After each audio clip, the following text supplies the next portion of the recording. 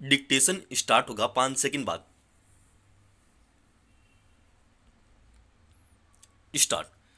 अत्याधुनिक अर्थव्यवस्था वाले सात देशों के समूह जी सेवन के शिखर सम्मेलन में भारत की विशेष उपस्थिति, इसकी बढ़ती आर्थिक ताकत का ही प्रमाण है।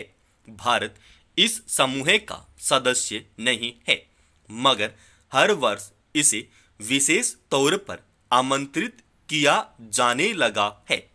हालाँकि, इस बार इटली में आयोजित इस शिखर सम्मेलन में अफ्रीका, दक्षिण अमेरिका और हिंद प्रशांत क्षेत्र के बारह विकासशील देशों के नेताओं को भी निमंत्रित किया गया था। पर भारत को खास तवज्जो दी गई। दरअसल यह सम्मेलन एक ऐसे समय में आयोजित हुआ, जब दुनिया में आर्थिक उथल पुथल मची हुई है। रूस, यूक्रेन, युद्ध और हमास, इजराइल संघर्ष जारी है। पूरी दुनिया अभी मंदी की चपेट में है।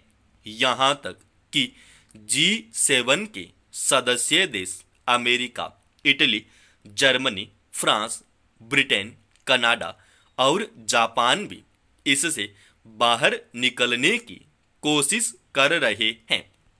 मगर भारत की अर्थव्यवस्था पर कोई प्रतिकूल प्रभाव नज़र नहीं आ रहा। अंतरराष्ट्रीय मुद्रा कोष के मुताबिक भारत दुनिया की तेज़ी से उभरती अर्थव्यवस्था है। जी सेवन के मंच से प्रधानमंत्री ने फिर अपना संकल्प दोहराया कि दो तक भारत को विकसित देश बनाना है। उधर वैश्विक सकल घरेलू उत्पाद के स्तर पर जी सेवन की भागीदारी लगातार घट रही है। वे विश्व जीडीपी में 60 फ़ीसद की भागीदारी से 40 फ़ीसद पर पहुँच गए हैं। भारत लगातार विकसित देशों के समांतर एक ताकतवर समूह बनाने की कोशिश कर रहा है। उसी रणनीति के तहत जी ट्वेंटी सम्मेलन के दौरान अफ्रीकी संघ को भी समूह में शामिल किया गया। इस तरह भारत वैश्विक दक्षिण के देशों को एक मंच पर लाकर एक नया आर्थिक मंच बनाना चाहता है। जी सेवन के सदस्य देश इस बात को अच्छी तरह जानते हैं कि भारत सहित वैश्विक दक्षिण एक विशाल बाज़ार है। वहाँ सस्ते श्रम की उपलब्धता भी भरपूर है। हालाँकि इस बार के शिखर सम्मेलन में प्रमुख रूप से दुनिया भर में बढ़ती महँगाई पर अंकुश लगाने, वैश्विक स्वास्थ्य सुविधाओं को बेहतर बनाने और कार्बन उत्सर्जन को कम करने संबंधी रणनीतियाँ बनाने पर ज़ोर रहा। पर रूस और चीन की वजह से बढ़ते तनाव को रोकने के उपायों पर भी चर्चा हुई। जी सेवन समूह के सभी देशों के साथ भारत के रिश्ते बेहतर हैं और उनके साथ व्यापार, वाणिज्य संबंधी गतिविधियाँ निरंतर बढ़ रही हैं। जी सेवन का ज़ोर उभरती अर्थव्यवस्थाओं के साथ रिश्ते बेहतर बनाने पर है। इस तरह भारत इसमें मज़बूत कड़ी साबित होगा। भारत के सामने फ़िलहाल कड़ी चुनौती चीन की तरफ़ से है। चीन को लेकर जी सेवन देश भी वक्र दृष्टि रखते हैं। इस दौर में जब संयुक्त राष्ट्र सुरक्षा परिषद कमज़ोर होता गया है और जी सेवन वैश्विक मामलों में निर्णायक साबित हो रहे हैं। वे भारत को विशेष रूप से अपने साथ जोड़े रखना चाहते हैं। तो निश्चय ही यह चीन के लिए चिंता का विषय होगा।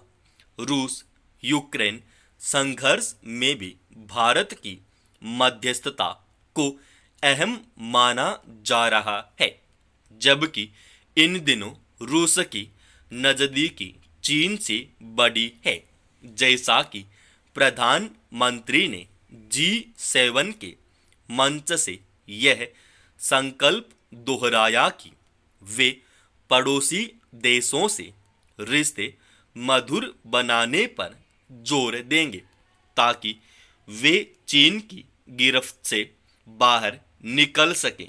यह भी चीन के लिए रणनीतिक रूप से परेशान करने वाला है। जी सेवन के इस शिखर सम्मेलन से भारत के लिए नई राहें खुलती नज़र आती है।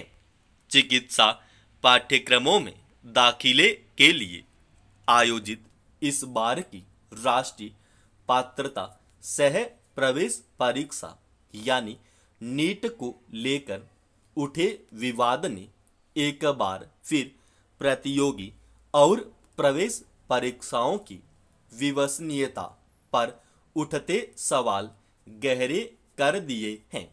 कुछ केंद्रों पर गलत पर्चा बांटने के बाद से ही विद्यार्थी आरोप लगाते रहे कि प्रश्न पत्र पहले ही बाहर निकल चुके हैं। मगर राष्ट्रीय परीक्षा एजेंसी यानी एनटीए लगातार उस आरोप को खारिज करती रही। फिर नतीजे आए तो उसमें कई विसंगतियाँ देखी गई। सड़सठ विद्यार्थियों को पूरे 720 अंक मिले थे। करीब 1600 विद्यार्थियों को कृपांक दिए गए। मामला सर्वोच्च न्यायालय में पहुँचा तो उसने स्थिति स्पष्ट करने को कहा, मगर फिर भी एनटीए और सरकार की तरफ़ से तर्क दिया जाता रहा कि परीक्षा का पर्चा बाहर नहीं गया। उत्तर पुस्तिकाओं की जाँच में कुछ त्रुटि हो सकती है। उसके लिए एक जाँच समिति गठित कर दी गई। 1600 विद्यार्थियों को दोबारा परीक्षा में बैठने की सहूलियत दी गई, मगर अब सबूत सामने आने लगे हैं कि प्रश्न पत्र पहले ही बाहर हो गया था। इससे एक बार फिर एनटीए की साख धूमिल हुई है। इस संस्था का गठन ही इस मकसद से किया गया था कि यह पूरी पारदर्शिता के साथ और चौक चौबंद तरीके से प्रतियोगी तथा प्रवेश परीक्षाओं का आयोजन करेगी। इससे नकल माफिया पर अंकुश लगेगा, जिस तरह पूरे देश में नकल माफिया का जाल फैल चुका है। और वे सख्त से सख्त पहरे में भी सेंधमारी करने में माहिर हो चुके हैं। उससे पार पाने में एनटीए को एक कारगर तंत्र माना जा रहा था, मगर वह भी विफल हो चुका है। इंजीनियरिंग और मेडिकल प्रवेश परीक्षाओं के पर्चे फोड़ने में सबसे अधिक कोचिंग संस्थानों का हाथ देखा गया है। राज्य सेवा आयोग की परीक्षाओं तक में वे सेंध लगाते पाए गए हैं। उन पर नकेल कसने का अभी तक कोई पुख्ता तंत्र नहीं बन पाया है।